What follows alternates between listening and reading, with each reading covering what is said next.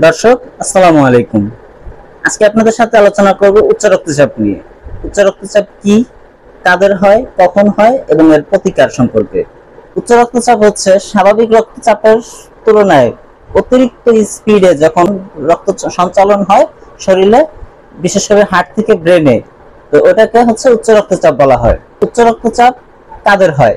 যারা হচ্ছে পরিশ্রম কম করে, জাঙ্ক ফুড খায়, অর্থাৎ হচ্ছে ফাস্ট ফুড বা রিচ ফুড এই সমস্ত জাতীয় খাবার খায়, তাদের হচ্ছে হাই প্রেশার হওয়ার সম্ভাবনা বেশি থাকে। আরেকটা সম্ভাবনা হচ্ছে জেনেটিক ধরেন আপনার বা আপনার ওয়াইফের সমস্যা থাকে, সেক্ষেত্রে হচ্ছে আপনার বাচ্চারও এটা হচ্ছে হতে পারে এবং এটা যে কোনো সময় হতে পারে। রেয়ার কেসগুলোতে দেখা যায় ছোট বাচ্চাদেরও এটা হয়ে থাকে। রিসেন্টলি যেমন একটা পোস্ট দেখলাম যে একটা বাচ্চা নবজাতক একদম ভূমিষ্ঠ হয়েছে সদ্য ভূমিষ্ঠ সে মায়ের পেটের থেকে হচ্ছে ডায়াবেটিক্স এবং জন্ডিস নিয়ে জন্মগ্রহণ করছে। তো হাইপার টেনশনটাও কিছুটা এরকমই। আপনার জন্মের সাথে সাথে হয় না, সেটা হচ্ছে আপনার আট থেকে দশ বছর এর মধ্যে হয়ে যায়। যদি বাচ্চার স্বাস্থ্য বেশি থাকে ওভার হেলদি বাচ্চা থাকে, তারপরে হচ্ছে যদি বাচ্চা আপনার জাঙ্ক ফুড ফাস্ট ফুড এই সমস্ত খাবার খায় পরিশ্রম না করে সেই ক্ষেত্রে হচ্ছে বাচ্চাদের সমস্যাটা দেখা দিতে পারে। এবং এটা সচরাচর খুব কম হয়।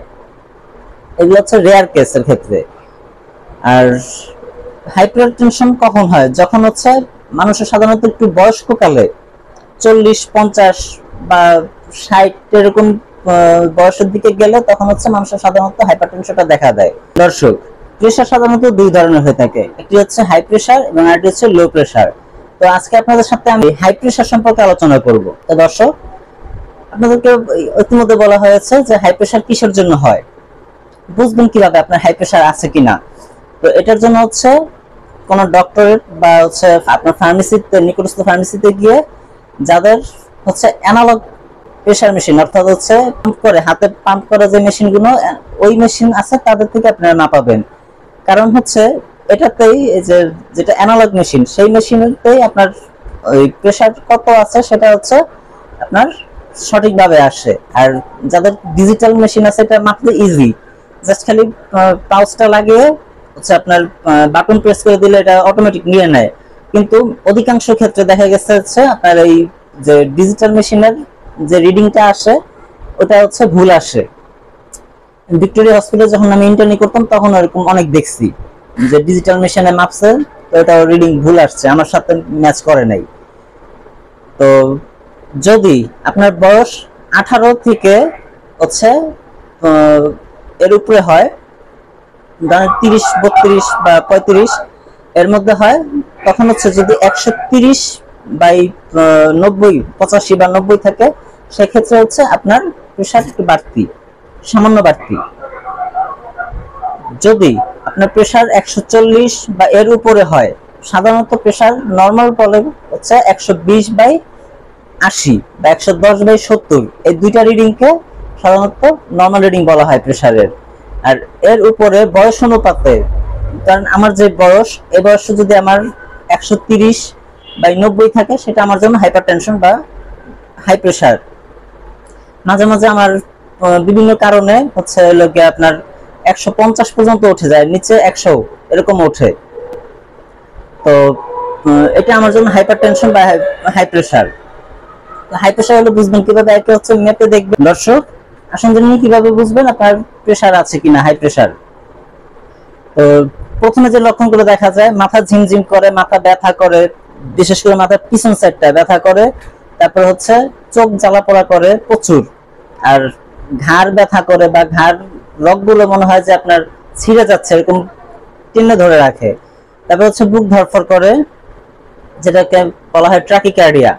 আর তারপর হচ্ছে শ্বাসকষ্ট হালকা থেকে মাঝারি বা তীব্র শ্বাসকষ্ট হতে পারে। এটা সবার ক্ষেত্রে এক- মানে একই রকম হয় না। তো এই লক্ষণগুলো হলে আপনি আপনার নিকটস্থ ফার্মেসিতে যাবেন, গিয়ে প্রেশারটা মাপবেন। যদি আপনার মানে একশো বিশের উপরে থাকে সিস্টোলিক এবং ডায়াস্টোলিক যদি একটির উপরে থাকে হ্যাঁ পঁচাশি, নব্বই বা পঁচানব্বই, একশো এরকম থাকলে আপনার তখন হাই প্রেশার আছে ধরে নেওয়া যায়। প্রাথমিকভাবে আপনারা কি করবেন?